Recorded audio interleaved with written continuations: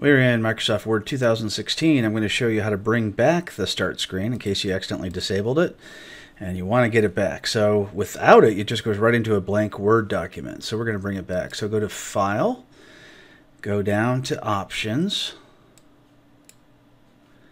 and then under the General tab on the left, go back and check the box that says Show the start screen when this application starts.